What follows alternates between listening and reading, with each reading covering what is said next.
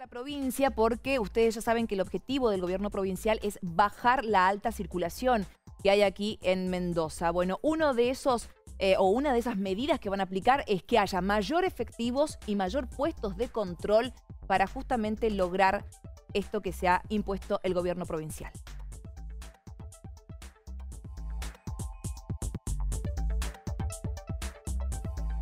Estar abocados 2.100 policías que vamos a cubrir 175 puestos entre fijos y móviles en toda la provincia, haciendo muy fuerte hincapié en, todo lo que tiene que ver con el Gran Mendoza. A partir de, las 0 horas de hoy ya están los controles y se va a ir incrementando durante todo el día para llegar a ese número que decíamos recién. Eh, justamente eh, lo que ha pedido el gobernador y el ministro es que tratemos de evitar mayor circulación de gente que no le corresponde salir por la terminación de documentos, tratar de evitar las fiestas o las juntadas de amigos, eh, eh, porque está comprobado que eh, de esta manera vamos a bajar seguramente, no vamos a saturar el sistema sanitario y por supuesto vamos a tratar de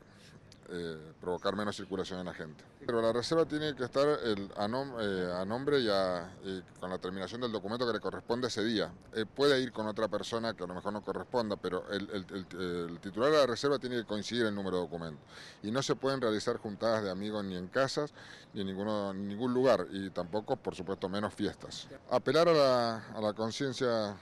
digamos, conciencia particular y, y la conciencia ciudadana para que todos colaboremos y seamos solidarios, porque la verdad que lo más importante es no tener que volver a ninguna restricción como lo que no quiere el gobernador y por supuesto y menos saturar el sistema. En estos controles ustedes van a ver mucha gente caminando, en bicicleta, en moto,